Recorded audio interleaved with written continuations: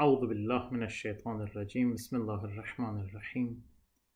الحمد لله رب العالمين بارئ الخلائق أجمعين وباعث الأنبياء والمرسلين.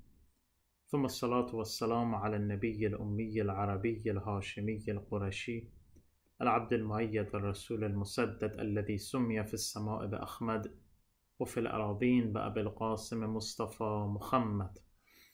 ثم الصلاة والسلام على آله آل الله واللعن الدائم على أعدائهم أعداء الله إلى قيام يوم الله. أعوذ بالله من الشيطان الرجيم. وما هذه الحياة الدنيا إلا لهو ولعب وإن الدار الآخرة لهي الحيوان لو كانوا يعلمون. alaikum wa rahmatullahi wa barakatuh, respected brothers and sisters. I'm here again, inshallah, for the short lessons from Tafsir al Mizan. And first of all, taqabbalallahu a'malakum during the holy month of Ramadan. Tonight I'm going to talk about the concept of ad-dunya in Quran. What is the term ad-dunya? Uh, what is the meaning of the term ad-dunya in Quran? You know, Allah subhanahu wa ta'ala used this word, you know, on multiple occasions. Many times you have this reference to ad-dunya or al-hayatu dunya. What is the meaning and what is the relationship between this concept and the discussions we had previously? In Surah Ankabut, verse number 64, I ask all of you to open the holy book, inshallah, Quran, and look at this verse of Quran. In Surah Ankabut, verse number 64, Allah subhanahu wa ta'ala says, وَمَا هَذِهِ الْحَيَاةُ الدُّنْيَا إِلَّا لَهْوٌ وَلَعِبٌ وَإِنَّ الدَّارَ الْآخِرَةَ لَهِيَ الْحَيَوَانُ What is this worldly life except an amusement and a game? Yet the final home means the hereafter is the real life, if they only realized it.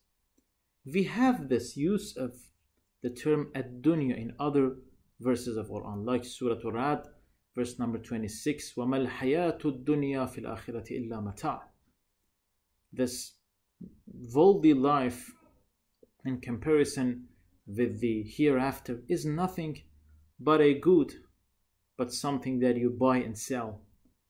Or in other verse in Surah Al-Kahf, verse number 28, تُرِيدُ زِينَةَ الْحَيَاةِ الدُّنْيَا They want what? The, the, the beauty of this worldly life. Or in Surah Al-An'am, verse number 32, وَمَا الْحَيَاةُ الدُّنْيَا إِلَّا لَعْبُ وَلَهْوَ لَعِبُ وَلَهْوَ The life, this worldly life is nothing but a game and amusement. Nothing more. وَمَا الْحَيَاةُ الدُّنْيَا إِلَّا مَتَاعُ الْغُرُورِ Again in Surah Al-Hadid, inshallah, I'll come to this verse. Verse number 20, Allah subhanahu wa ta'ala says that this worldly life is nothing but what? But illusion. You see on the multiple places of Quran that Allah subhanahu wa ta'ala is admonishing the dunya or the love of dunya or being uh, related to the this worldly life. The first question is what is dunya? You know, the first rudimentary, you know, understanding of many people who have, you know, this relationship with Quran is that dunya is this earth on all the planets and skies and galaxies and the solar system and everything that we see. So the question is why Allah subhanahu wa ta'ala is going to admonish this dunya. This is the creation of Allama subhanahu wa ta'ala. Why Allah says bad things about His creation. This, this doesn't make any sense. This is why Allah alongside with Imam al-Khomeini, they say that this ad-dunya al-mazmuma, this reprehensible world ad-dunya is not this planet, this obvious trees and skies and rivers and seas and oceans. This dunya is something else. And we want to understand the reality of this dunya throughout this verse, these verses of Quran, inshallah, according to Tafsir al-Mizan. Allama Tabatabai, he says that the reality of dunya, according to these verses, is not these beings and objects out there. He says that وَمَا هَذِهِ الْحَيَاةُ الدُّنْيَا إِلَّا لَهْوٌ وَلَعِبٌ وَإِنَّ الدَّارَ الْآخِرَةَ لَهِيَ الْحَيَوَانُ Or in other verse, اعلموا أنما الحياة الدنيا لعب ولهو وزينة وتفاخر وتكاثر في الأموال والأولاد كمثل غيث أعجب الكفار نباته وما الحياة الدنيا إلا متاع الغرور In many verses of Quran, Allah subhanahu wa ta'ala, He defines the dunya by saying that this dunya is just a game, is just an amusement, is an illusion, is an imagination. You have constructed this dunya. This is a mental construct thing. This, this, this doesn't exist out there. This is why Allah says that if dunya is al-mata' al-ghurur, and dunya is not the real life. Because Allah subhanahu wa ta'ala in this verse Surah Al-Ankabut says what? Inna dar al-akhirata the real life is the hereafter not the dunya. He says that dunya in Quranic context is all the mental constructs of the human being all the imaginations and illusions that we have and we live with on the daily basis. For example, take ownership as an example. When you say, I own this car, this is my car, okay? Out there, there is a car and you are out there. You two exist there, okay? The car and you. But where is the ownership? You can take you know, $10,000 and give this car to another person and he will be the owner of this car. So this ownership is not a real relationship between you and this car. So it doesn't exist out there. It is just in your mind, the mind of people. These are conventional concepts. These are mental constructs and when we look at our daily life, we see that we're exactly living with these concepts, not with the reality of this world. I am the boss, I'm the doctor, I'm the engineer, this is my bloodline, this is my family name, this is my surname, this is my car, this I own this, I own this land, I own this apartment, I I'm the master, he's the slave, okay? All those concepts that we made up to live in this world, which is called al-ulum al-i'tibariyya in Tafsir al-Mizan, mental constructs, the concepts that was made by our mind, these shape our dunya. This is the reality of our dunya. So my dunya is what? Is not these trees and lands and rocks and mountains. No the relationship that I invent, that I make up between myself and the beings, which does not exist.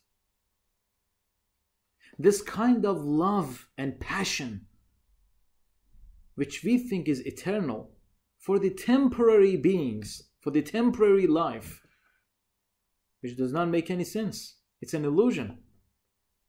You want to live forever on this planet, but you won't. So it's an illusion. It's your dunya. You think that this this home, this this car, this laptop, everything belongs belong to you. So this belonging, this this ownership does not exist out there. Out there, you can buy them. You can sell. Uh, you can you can you can sell them. You can buy another things. So you can change them. There is no reality out there. But you live with these things. You live with your titles. I'm Ayatollah, this. Okay? I'm doctor, that. By having these titles, I'm living in this society. I need that social recognition, social acceptance, which is not real. This is just in minds of people. People made this up to live in this world But we got stuck in millions and millions and millions of these concepts. This is called ad-dunya in the eyes of Allah according to Quran. So وما هذه الحياة الدنيا إلا اللهو واللعب. Why is it called لعب? لعب means game. Why when you look at your children and you say that they're playing, why you call this activity playing a game? Because you see that it's it, it doesn't have a real purpose. they're just amusing themselves. They're just spending their times, you know, they're not going to go after something real. But a person who's working in, in Google or in Microsoft, you, you don't call him a player or a gamer. He's working, okay, in your eye.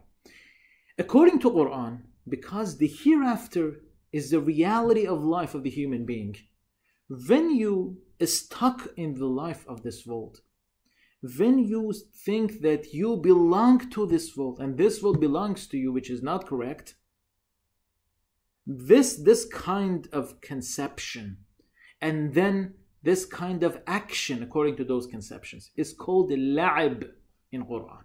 This is game. Lahab. This doesn't pursue any real goal. So ad-dunya in Quran means your mind. The concepts in your mind. I love him. I love that car. They love me. I love them. Okay? I'm the boss, as I said. I own this, that, all the relationships. These are just made up by human beings without any existence out there. So if you get stuck into this kind of conceptions, you are then in the prison of ad-dunya. It will be your prison. All those concepts are the bars of this prison. So Allah subhanahu wa ta'ala says, وَمَا هَذِهِ الْحَيَاةُ الدُّنْيَا إِلَّا لَهْوٌ وَلَعِبٌ وَإِنَّ الدَّارَ الْآخِرَةَ الْحَيْوَانِ If you really want the life, the real life, the eternal life, the hereafter is the reality of the life. And another verse I recited in Surah Al-Hadid, verse number 20, beautiful verse in Quran. اعلموا أنما الحياة الدنيا لعب ولهو وزينة وتفاخر بينكم وتكاثر في الأموال والأولاد. Know that the worldly life is only a game, a temporary attraction, a means of boastfulness among yourselves. You are proud of your bloodline. You are proud of your color. You are proud of your appearance. You are proud of your certification. You're proud of your PhD. You're proud that you're an Ayatollah. You're proud of your knowledge of anything. This, this pride, this pride is not real because you are pride of something which is not eternal, which is not real. These are the titles that we give people and take from them easily. People made this up. كمثل غيث أعجب الكفار نباته and then Allah subhanahu wa ta'ala says in this verse وما الحياة الدنيا إلا متاع الغرور He says what? He says that the worldly life is only an illusion. It's just in your mind. So if you really think about the reality of this life, you see that the, the ownership of everything is in the hands of Allah subhanahu wa ta'ala. There is no real connection between you and the things that you think that they belong to you. So everything changes. We need an eye that can really understand and see the reality of this world and pierces this kind of illusion which is called ad-dunya.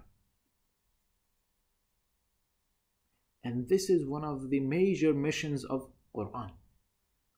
Brothers and sisters, one of the aims of Quran is to tell people that you're not living in the real life, in the real world. Come out of your egg. Come out of this artificial world that you made by your minds. And it needs another discussion. How we made this concept. Allama in one of his books, The Principles of Philosophy, he talked, you know, beautifully about this, this mental construct concepts. He's called he, he called this al-mafahim al-i'tibariya, inshallah, for those brothers and sisters who want to uh, study philosophy, that's so precious for them understanding the reality of the uh, al-mafahim al-i'tibariyah. Okay, so here, here, the thing is, so the world that you think that you're living in is the world of concepts, the world of titles, the world of people's, you know, understanding from you and you're understanding from people, the minds of people, which are not real. This is why Quran always asks us to return to the reality. In this world, in this worldly life, you can return to the reality by understanding two things. Tawheed, Allah subhanahu wa ta'ala, and your nafs, as we called in the previous session, ma'rifatun nafs. So, now the question is, how can we cross this kind of illusion? Because as I talked about, everything in the daily life is somehow connected to this kind of illusion. I'm, I'm, I'm an employer, I have employees, I'm the boss, he's, he's, my, he's my man, okay? He's the, he was the master in the ancient world and he had some slaves. The ownership exists. I, I i i need ownership in my life so what should i do? I, should i just erase all of those things and live in the caves? No. You just need you just need to change the conception. And understand that yes you need these concepts but these concepts are not real you have to live in this society inshallah i will talk about that that quran Quran's irfan and Quran's purification crosses from the, the bridge of society. Islam is a very social religion. Inshallah, we'll talk about that. But you have to understand and put it in your mind that this is not real. All those concepts are not real. And you have to hold on to the realities of this world to the realities of this world. And how is that possible? Allama Tabatabai, alongside other um, spiritual scholars of the school of Ahlul Bayt, like Mirza Jawad al Maliki al Tabrizi, Ayatollah al Qazi, Mullah Hussein Quli Hamadani, Imam Khomeini, and other great scholars, here their recommendation again, according to Quran, is what? Dhikrul Maut. If you want to cross this illusion have the remembrance of the death. Exactly like this verse of Quran. Let's recite this verse again. أعوذ بالله من الشيطان الرجيم وما هذه الحياة الدنيا إلا لهو ولعب verse number 64 in Surah Ankabut وإن الدار الآخرة لهي الحيوان here everything in your mind is just a game and amusement and the real life is in the hereafter. So when you die, where is the ownership? Where's your car? Where's your clothes? Where's your bank account? Where's your Instagram account? Where's your Facebook account? Where are your children? Where are your properties? Where's your home? Nothing, everything disconnected from you. Why? Because they were not really connected to your reality. So the death is the beginning of understanding and witnessing the reality of this world. As Amir al-Mu'minin says beautifully, and Tabahu, All the people are asleep. When they die, they awake. فإذا ماتوا انتبهوا فبصرك اليوم حديد سورة حديد Okay. So the way is to remember the death because death eradicates every unreal concepts because you know if you imagine yourself yeah you're going to die. It's your last moment or you have already died and your uh, relatives are attending your you know funeral procession. In that time that which is the very real time for you you see that you have no belonging. You have nothing. But the real things that you achieved in this life which is which are your a'mal, our deeds, our actions, our behavior, our qualities. These are the real things for us. So this is what we have in our narrations that udhkuru hadim al Remember the destroyer of the joys. I think from Amir al-Mu'minin Rasulullah. Udhkuru. It means remember the death, which eradicates, destroys the joys. Which joys? The temporary illusions. Because the rea- real joy is in the hands of Allah subhanahu wa ta'ala. And for those people and believers who believe in Allah. This joy mean, means this worldly, temporary, unreal joy. So the way is the maut. Again, connected to the uh, previous lectures. By the dhikrul maut, you return to your nafs, to your reality. Because with the remembrance of the death, you will again understand that your soul, yourself, your nafs, is in a breach. It's just a station. You're going to cross this vault. This is not a place for you to live forever. So again, if you remember the death, you are remembering your nafs, the reality of your nafs, which is connected to Allah subhanahu wa ta'ala, which lives forever in the damnation or salvation. So the dunya and the concept of a dunya does not mean this planet Earth or the galaxies or skies. This concept refers to what? This concept describes the illusions and imaginations in our mind. All those concepts that we made in this world and we are proud of them or hate them. All those concepts that has that have no reality out there in the real life. And the means is the remembrance of the death. And the best time and best occasion for this is the holy month of Ramadan, especially the nights of Qadr. To remember the death. Just imagine in a quiet place, imagine that you're dead. You're going to die. What happens? Your relatives, your kafan, your grave, your lahat, the last moment that you have no one to help you except you have no one.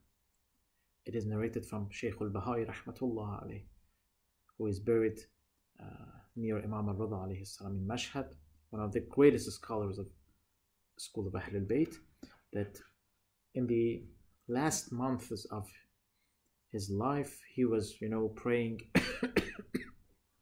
and reciting Quran and do a'mal in the famous uh, cemetery of Takht Fulad in Isfahan. And, you know, he was a great person, a spiritual person.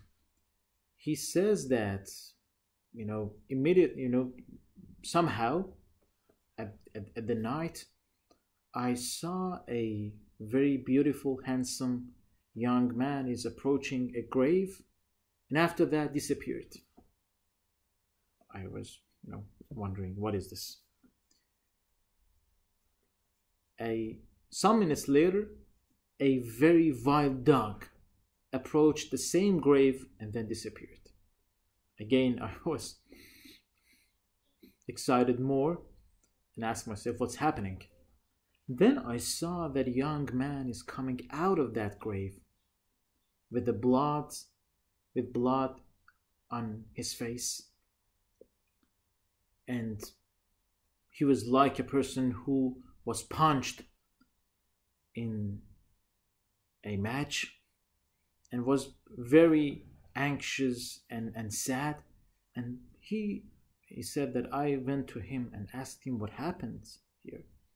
You approached the grave and you disappeared, and the dog disappeared. What was that? The young man said that this grave belongs to a person who just died this night and is buried there. This is the first night of his time in the hereafter. Okay. I was the embodiment, representative of his good deeds. I, wa- I was the good, the, the, the good actions of him. That dog was the embodiment, the manifestation of the bad deeds of him. We both entered the grave. We wrestled, and that dog could beat me and punch me, and I was going to die and put me out of the great grave. And that dog will be this man's interlocutor and will be with this man until the day of judgment. The bad deeds. This is the reality of our This is the reality, not this concept called ad dunya. May Allah subhanahu wa ta'ala give us this tawfiq to repent to Him, to do tawbah during these blessed nights and days. Inshallah, especially the night of Qadr, inshallah, with those beautiful a'mal, beautiful supplications that we have in our narrations. Don't lose the time, don't miss this time. This is so valuable to read Dua Abu Hamza, to read all those ad'iyah supplications uh, which are narrated in the books like Al Iqbal or in Mafatihul Jannah. Inshallah, inshallah, we will have this tawfiq to do, inshallah, this a'mal. اللهم صل وسلم وزد وبارك على محمد وآله الأطهار ربنا ظلمنا أنفسنا وإن لم تغفر لنا وترحمنا لنكونن من الخاسرين والسلام عليكم ورحمة الله وبركاته وصلى اللهم على سيدنا ونبينا محمد وآله الطاهرين